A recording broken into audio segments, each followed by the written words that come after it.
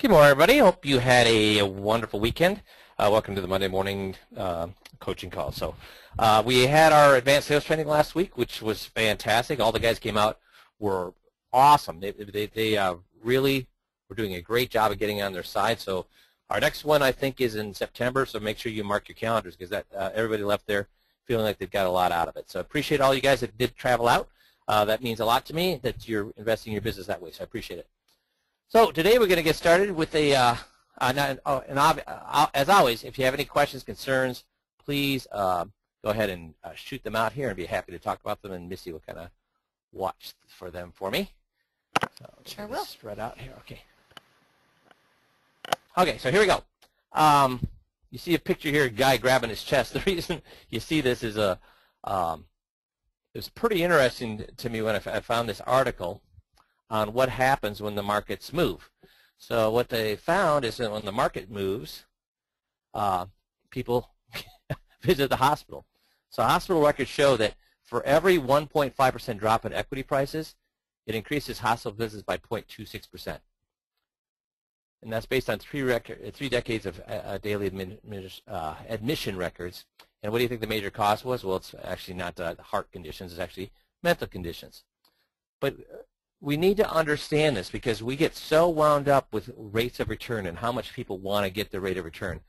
So who here knows who Daniel Kahneman is? Daniel Kahneman. So we talked about him at the uh, at the first training that you went to before you came on board. Uh, we talked about Daniel Kahneman. Does anybody remember who he is? I'm not getting any answers. Okay. Well, Daniel Kahneman was the uh, first psychologist to win the Nobel Prize for economics. And he developed the, uh, exactly right, Garner. Uh, he, um, he developed behavioral economics. And one of the things he found, you know, what he researched was how do, how do people think about money? And he found out that people think about money in a very different way than they think about everything else. People think about money this, in a very different way they think about everything else. So one of the things he found was this, and we, we talked about this at, at training, but see if you remember this.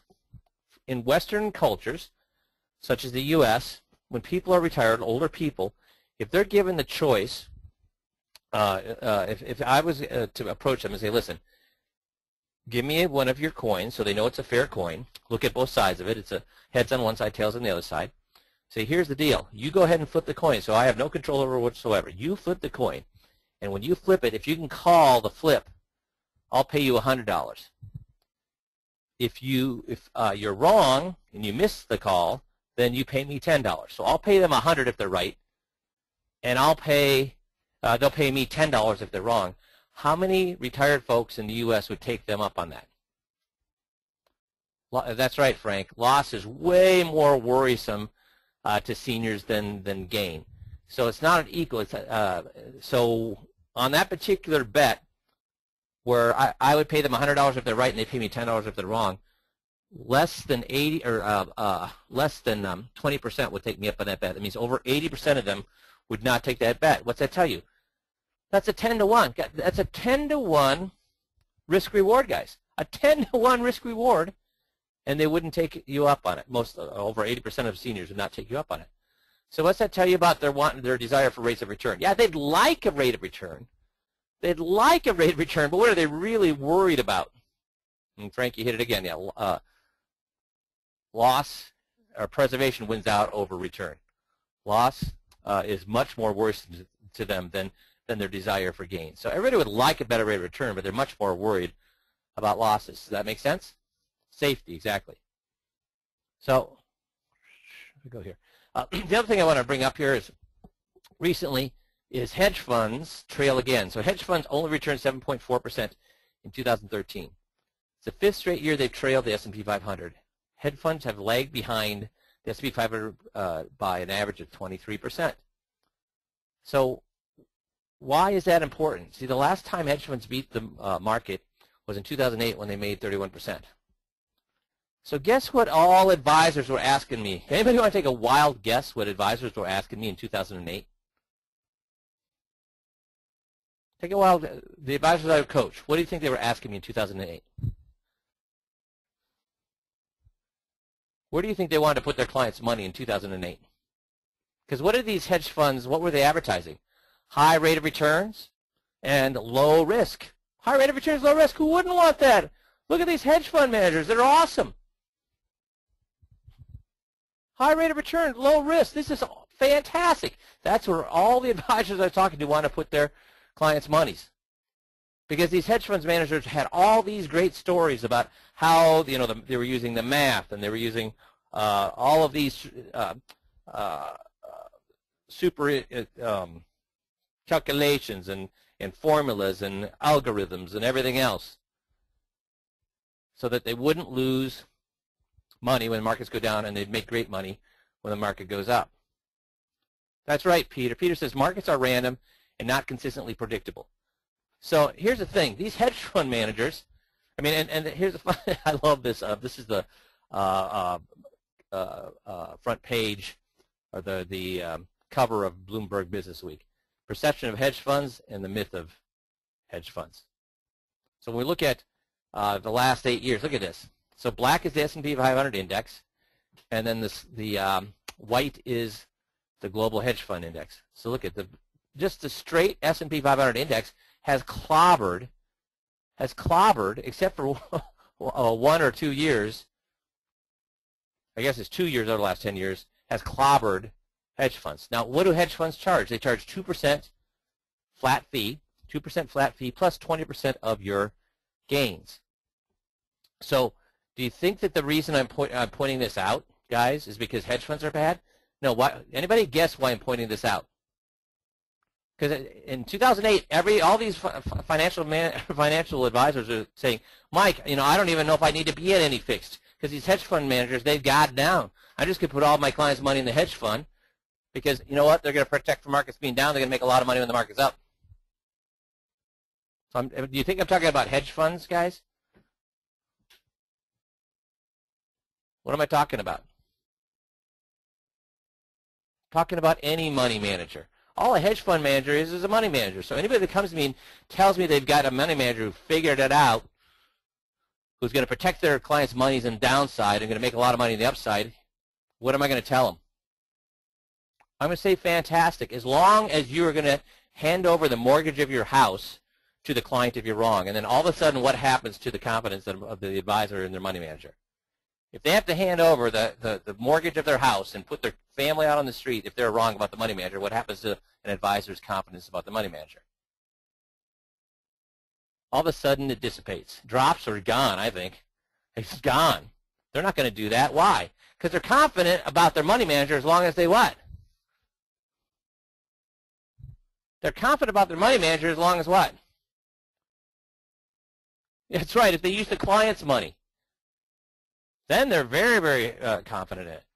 Okay, so here's the funny thing: these uh, these hedge fund managers, these top eight hedge fund managers, were all dragged in front of Congress in uh, in 2007 to talk about why they had made so much money. And here's what's happened to them since. Soros, considered one of the, uh, these are the eight managers, uh, five of the eight managers that were there. Soros, considered by some of the greatest, the greatest investor in history, announced in 2011 he was returning his investors' money. He, could, he just couldn't, uh, all of his formulas quit working. Simons, a former mathematician and code cracker for NSA, bailed out. What a, he, he had an unbelievable, he had an unbelievable uh, a story. And it worked for a couple of years. And then it what? See, all this stuff, it works until what? It works until it doesn't work any longer. After several spectacular years, Paulson saw his hedge funds plummet. Falcone reached an agreement with the SEC because he had borrowed from, quote unquote, borrowed from his fund to pay his taxes after his funds plummeted. So all these guys are out. Now here's the, and uh, Griffin is still struggling to hold on. He's one of the few guys that's left in this game, and he's struggling to hold on after tremendous losses. So all these guys, most of them got out of the business because they found out their formulas didn't work. Now, everything happens for a reason, but sometimes that reason is that you're stupid and you make bad decisions. And here's why I bring that up.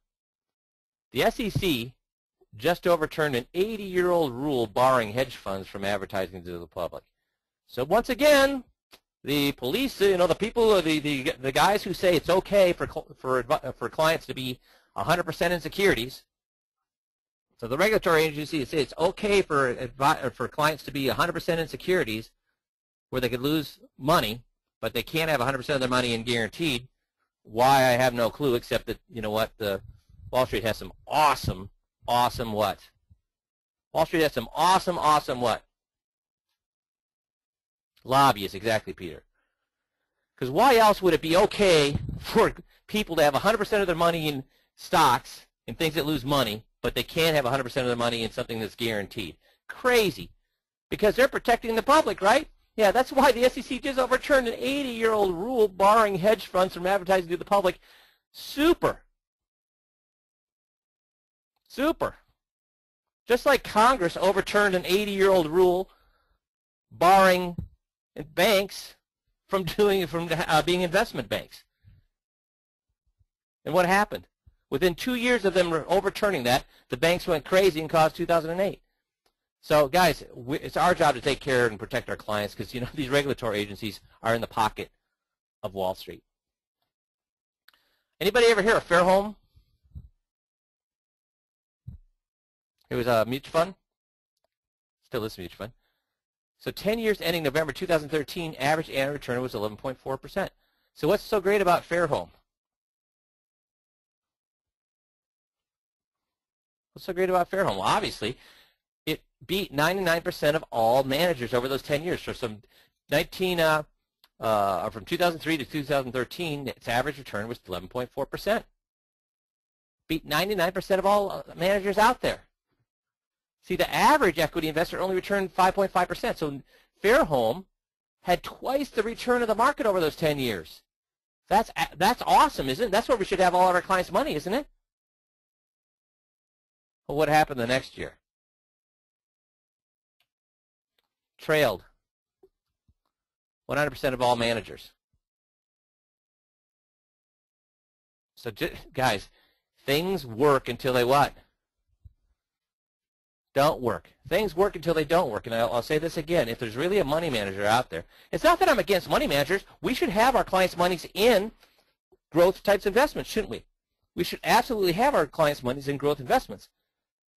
But no more than 50%, more likely less than that since they're more afraid of uh, they're more afraid of risk than they are attracted to return. But what I'm saying is don't get convinced that there's some money manager out there who's got it figured out. Because as soon as they get it figured out, what happens? As soon as the money manager figures it out, what happens? Well, I agree. Peter says passive management. And if you look at um, basically any uh, any professor, any academic that has looked at the numbers, past, present, and future, who has no vested interest whatsoever in selling anything, all they do is look at numbers. They'll agree with you, Peter, passive management is the way to go. Low cost passive manager. So we, we need to go. We need to have our clients' money in in growth, but don't don't get bamboozled by some money manager who convinces you he's got it all figured out because they don't have it figured out. They don't have it figured out. We're we're not fortune tellers. There is no magic formula, exactly, Brahma. So you need something in growth, but don't get you need you need an awful lot in guaranteed. Now, who tells us how much it should have in guaranteed? Who tells us how much a client should have in guaranteed? Who tells us that, guys? It, not advisors.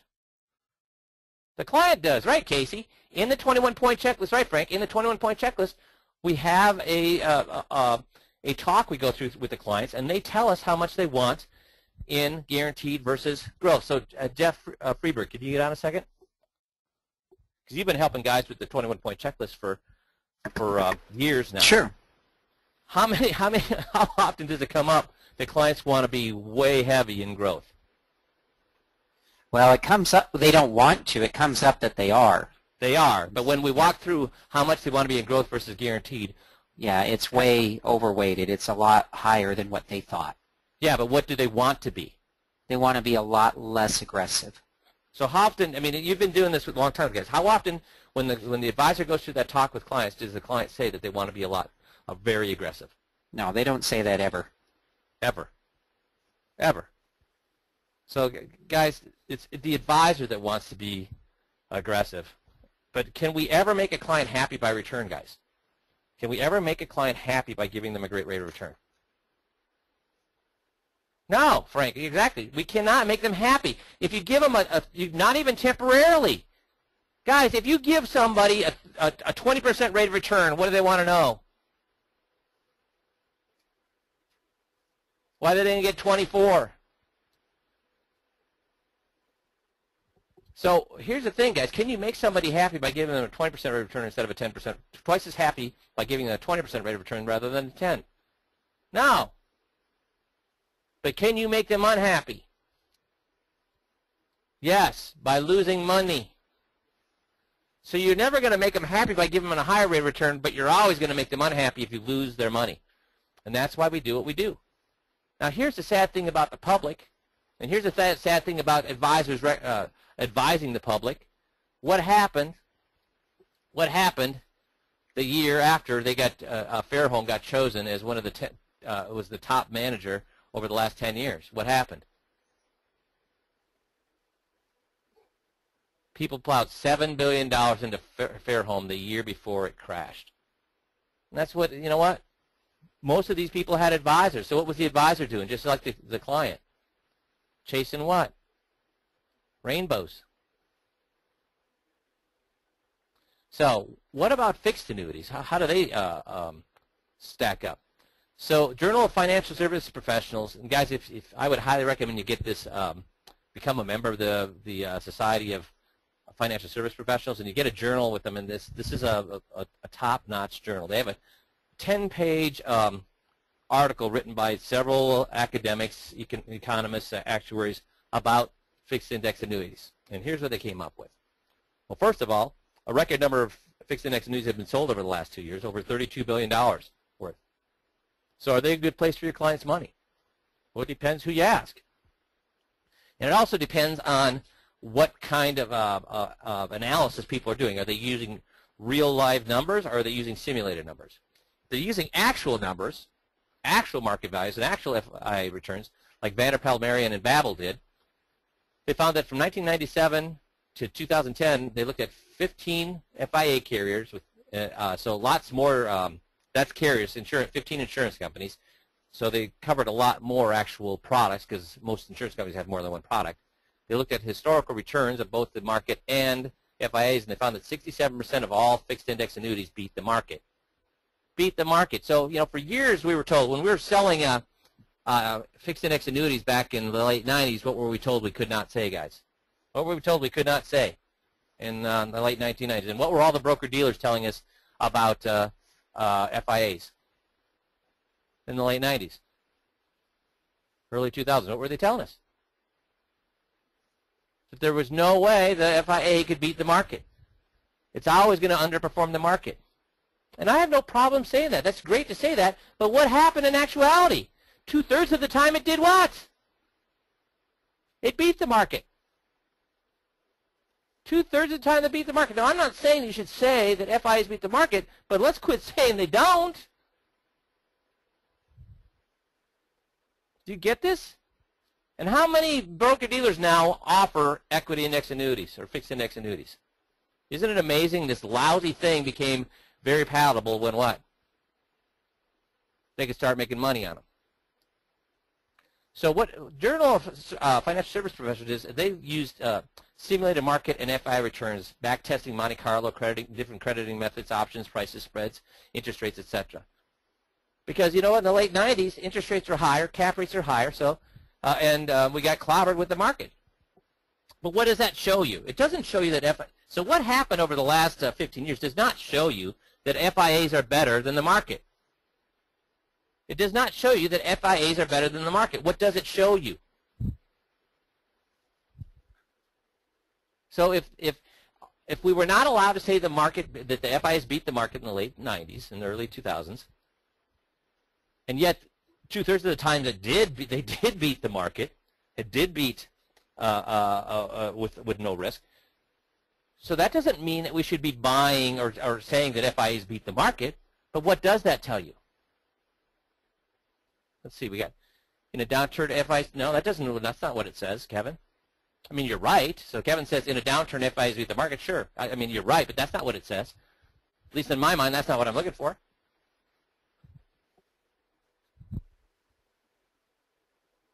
You need to have exposure? No. Guys, here's what it tells us. Does anybody have a crystal ball? Because we were told with 100% in our face, you had better say that, that FIAs never beat the market because it's impossible over time for FIAs to beat the market. And yet, what happened?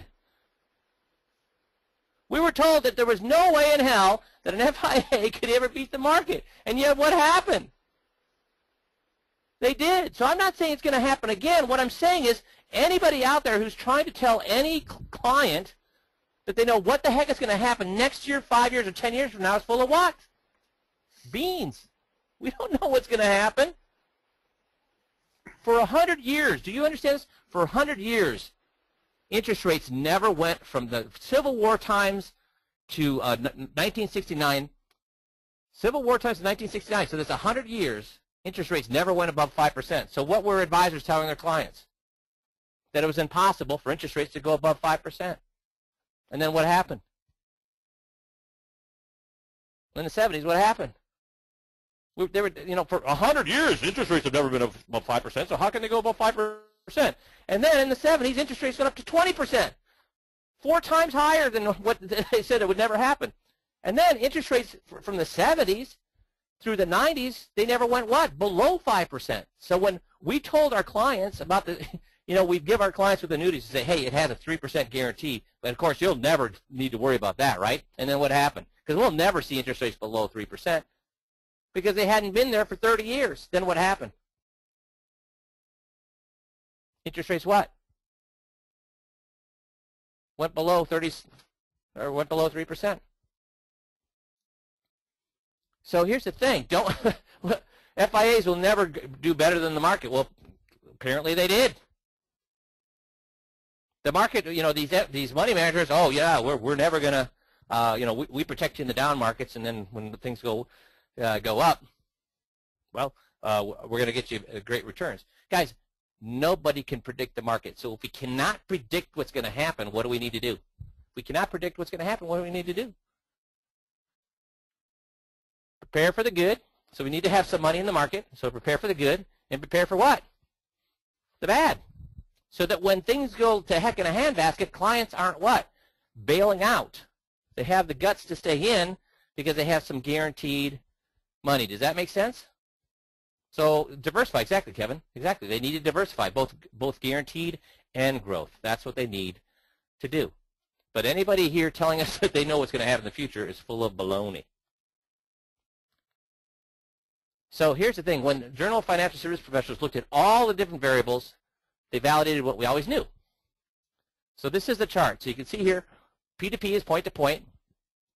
MA is monthly average. SPX is the S&P 500. And then we have 3070, split between uh, 10-year treasuries and, uh, uh, oops, ah! Uh, uh, and then we have 4060 is 40% um, safe, 60% in the market, 50-50, 60-40, and 70-30. 70% in uh, growth and 30% in safe. So I'm sorry, this is, so this is growth, safe, growth, safe, growth, safe, growth, safe, growth, safe. So when they looked at all of the different uh, possibilities, back testing, Monte Carlo, all the different variables, here's what they found out. That um, over time, a point-to-point -point would have an average of a 5% rate of return. And then they looked down here and said it would outperform a monthly average 81% of the time. Okay? With a monthly average, and have a 4% rate of return and would outperform the point-to-point 19% of the time. Straight S&P 500 index would average a 9.1% rate of return, and it would beat the point-to-point 85% of the time, and monthly average 86% of the time. So you can see here that it, you know a straight 100% in the market is going to what to a to a, um, FIA. Duh. It's going to beat it 85% of the time. Not 100% of the time. So we just live through one of those 15% of the times, right, where it doesn't beat the market. But it does beat it most of the time. But when you look at a 30-70 split, that's only going to beat point to point 13% of the time. If we go to 50-50, that's only going to beat the point-to-point 58% of the, uh, the point-to-point is going to beat it 8% or 58% of the time, so 60% of the time almost. is going to beat a 50-50. So again, when back in the early 2000s, we were we had clients moving 100% into equity index annuity, saying that it was better than a 50-50 portfolio, and it was. 60-40, even 70-30. Look at this, 70-30. Um, the uh, will beat the point-to-point 80% of the time. So 20% of the time, it'll uh, uh, the point the FIA will win, and 80% of the time, the 70-30 will win. So what does this tell you guys? I mean, uh, this tells you what? Where is a great place to have your guaranteed money? Where's a great place to have your guaranteed money? In a place that you have a, a chance to be what? A diversified portfolio with no risk. You have a, a very good chance of beating a diversified portfolio with no risk. So here's here's the point. First of all, does anybody have any questions on, on this? Uh, well, can I ask you a question too? How many of your clients would take a 5% rate of return over a 6.9% rate of return with no risk versus 70% risk? How many of your clients would, would take a 5% rate of return over a 6.9% rate of return with no risk versus a, a 70% of their market or their assets in risk? Most would, exactly, Kevin. Most would. And then the other thing is Sharpe ratio. Is a high Sharpe for those of you stock geniuses out there, is a high Sharpe ratio better or a lower Sharpe ratio, uh, Sharpe ratio better? I don't see a lot of people lower is wrong. High Sharpe ratio is better. So the higher Sharpe ratio, anything above three, a three percent, uh, a three on a Sharpe ratio is fantastic. Anything above above a one is good, and anything above a two is very good. So two 2.6 Sharpe uh, ratio versus a 1.7. So that's a significantly better uh, risk to reward uh, ratio there with the Sharpe. So the thing I'd like you to think about is this. If we're look, using fixed index annuities for the guaranteed, you know what's not in here? Is what if what kind of return if instead of this 30 70 40 60 50 50 60 40 uh, 70 30 and they didn't do this and obviously I don't have the the computing power to do this but what if instead of using treasuries they were using the uh, for the guaranteed we're using a point-to-point. What do you think would happen to these rates of returns, guys? Instead of using treasuries, what if they were using point-to-points for the guaranteed or the monthly average? It'd be higher, exactly. So, the, so now we're pushing what? From five, five or any of these numbers straight up closer to higher to, uh, um, we're pushing all of these top numbers higher with no additional risk. And that's the banana, you know, that's the banana split. When you take your guaranteed money and you put it into a, uh, uh, a fixed index annuity as you're guaranteed, it's going to push all of your your um, your rates of return higher. It's going to keep your Sharpe ratio higher, and it's going to beat the pants off of any money manager. Why would it beat the pants off of any money manager over time, guys? Why would a 50-50 beat the pants off a money manager over time?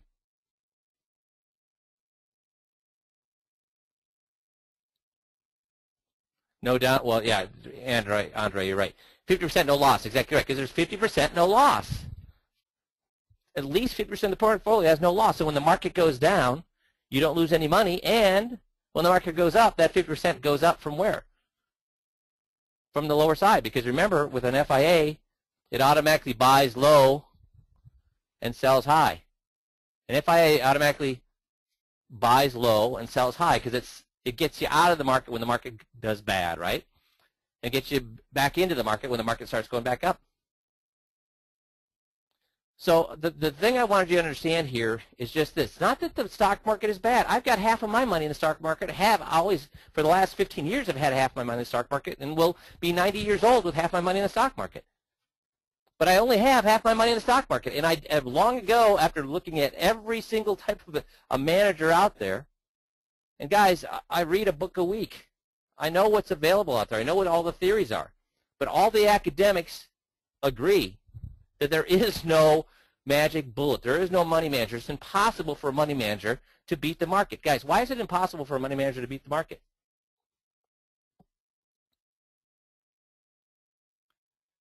Why is it impossible for a money manager to beat the market? Fees, absolutely. Uh, fees is the big one. Because, guys, if you're going to pay higher fees, that means you have to take how much more risk in the market? In order to beat the market, if you're going to charge fees, you're going to have to take more risk. But here's the thing: the the reason that they're going to eventually that there's no money manager can beat the market is if there was a money manager who beat the market, how long would it take for everybody to hop on that wagon? Do you really think that with with the disclosure that money managers have to give now, that people couldn't figure out what the hell he was doing, or what the hell she was doing? Yes, and how long would it take before every other money manager was jumping on board? And once every other money manager jumped on board, what automatically happens? Return to mean. Parity, exactly, Peter. Everything comes right back down to zero. So it's impossible for anybody to beat the market over time. Now, back in the olden days, they could do that. Back in the uh, 20s, 30s, 40s, 50s, you could beat the market. Why? Because if you figured something out, nobody would know that you figured it out. But it's impossible to do that nowadays. So where should you put your money? You should put your your your equity money either in, uh, as somebody was saying earlier, into a passive investment like a uh, an indexed portfolio or find a money manager who you love their story. And, and you can tell that story very well. But don't, just because you love their story and you can tell their story, don't get suckered into their story because ain't nobody's figured out a way to beat the market with less risk. It's impossible to beat the market with less risk, guys. It's impossible to beat the market with less risk. And anybody that tells you they are has got a screw loose because many guys have tried it in the past. So unless you found the one manager that is is smarter than every other money manager that's ever walked on this face of this earth, you have not found the person who's going to beat the market with less risk because nobody's done it up to this point. If there was a money manager who'd beat the market with, who was the best money manager to be with, who can beat the market with less risk, how many money managers would there be out there right, right now, guys? How many? How many? There'd only be one, Peter. But every year, what happens? At the end of every year, guess what happens to the number of money managers? There's more and more, Peter. Every year, there's more and more money managers. And then we have what? We have a big crash, and then what happens to the money managers? Half of them go bankrupt, half of them close, and then what happens? Then they start growing, growing, growing again until we have another big crash, then half of them disappear, and then we start growing, growing, growing, then half of them disappear, another crash, and half of them disappear. So so are we clear, guys? I, I'm a big believer in growth, but I'm a big believer in growth with what? I'm a big believer in growth with a, well, I agree with a hedge. Why? But when we just talk about the growth, with a healthy dose of what? When I'm looking at safety, absolutely. Safety and a hedge. But when I look at growth, I look at it with a healthy dose of skepticism. Because any story I get about growth, guys, I look, I've been looking at things since uh, for the last 15 years, 20 years on how to beat the market. It does not exist. If it did, we'd all be doing it. And you know what? As soon as we're all doing it, then it will quit beating the, the market. So find a good money manager.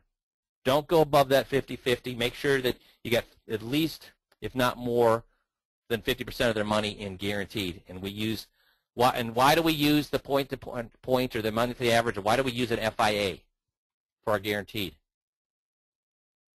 Because if we can use an FIA and it performs as well as it does against these portfolios, what a great place to have your guaranteed money. You get to have your cake and eat it too. Does that make sense? So I, I love growth. I have growth, but don't have your clients' money more than 50% in growth, and they're going to tell you that during the 21-point checklist. And please, as soon as you get a client who tells you they want more than 50-50, give me a holler, give Jeff a holler, because we'd love to hear that, because we just have never heard that before because we're talking about people who are no longer working. They don't want lots of money at risk. So have no more than 50-50 in, in growth. Does that make sense, everybody? Super. Any questions, concerns before I cut you guys loose? None. Awesome. Super. Then I appreciate all you guys and have a great week. And we'll talk to you all on Friday's uh, GOTS call. Thanks, everybody. Have a good one.